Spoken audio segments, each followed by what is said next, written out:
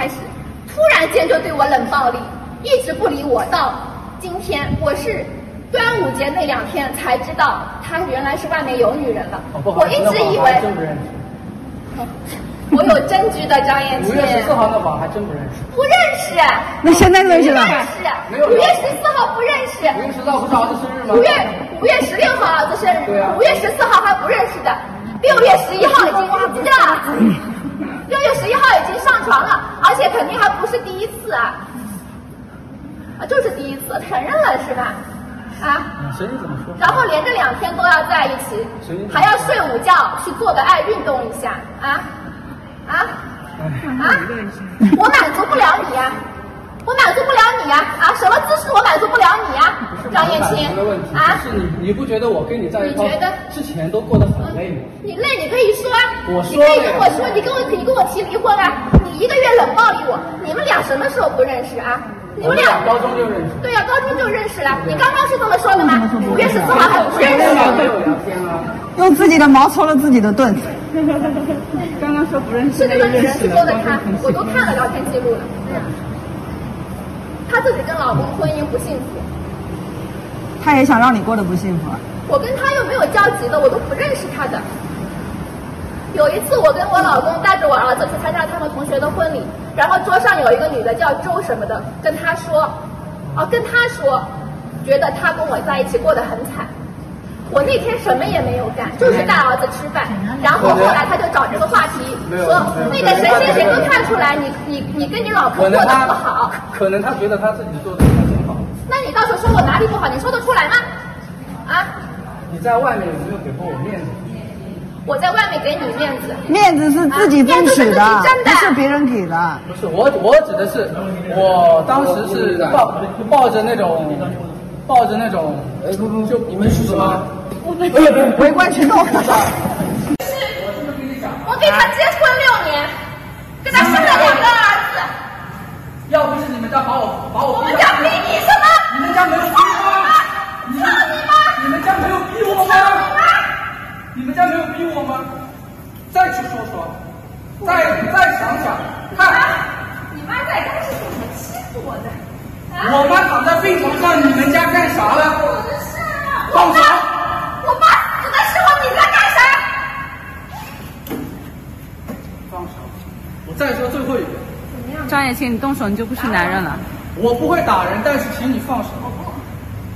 你护着他，你以为他能把你娶回去？不要你动手人了，我真的不是。蒋军，敢做敢当啊！我不是，你搞错人了。我这两天为了收集你们这对狗男女的证据啊！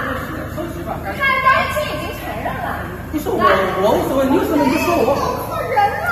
我大儿子四岁，小儿子大一岁半，你他妈要来拆我家？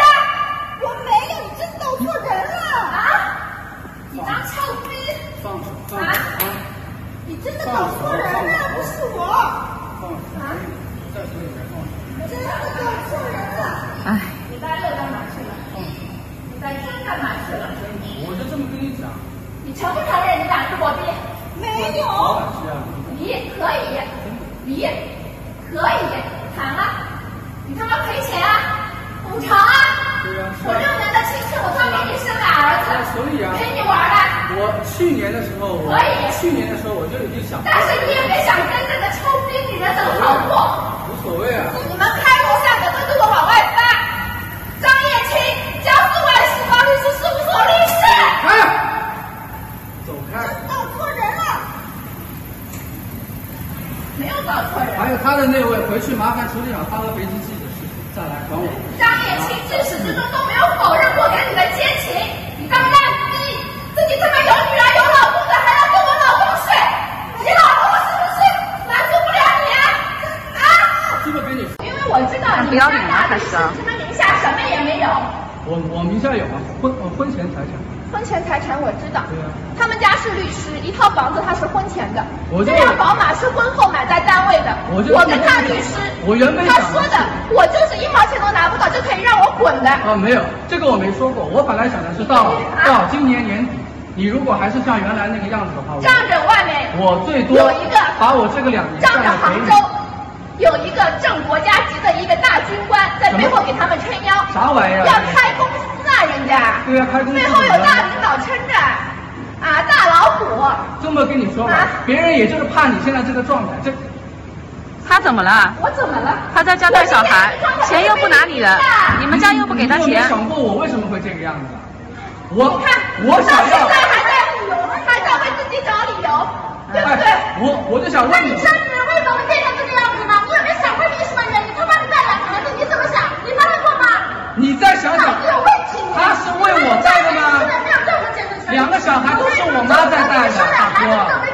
大哥，两个小孩。我生老二，酒精顺产的，我差点死在产床上。酒精我顺产的。对呀。我他妈差点死在产床上，到现在才一年多。你现在还在护着后面那个三个，那有脸吗你？你还是人啊？再怎么说，他也给你生了两个。就是，他说不出我的大错，对不对？他说没错嘞，那这个打死他都不是你的事情。他只会说他妈妈关系处不好，他妈妈，惠山区人社局前副局长贾敏。有多厉害？这个他妈妈有多厉害？我这几年在他们家被欺压的，我都已经抑郁症了，你们知道吗？我这么跟你讲吧，我要不是因为我要不是我心理条件差的话，我早就当我我早就当我爸爸，我早就当我爸的面跳楼了。你你死，你去死啊！死了好一了百了啊！那楼跳不成，在外面找女人的呢。这么跟你说吧，要今天发生那个事情，我我要。要不是你，要不是你今天跟这个女人又他妈出来日逼偷情，你能给我这个机会呀？啊？你说不是就不是。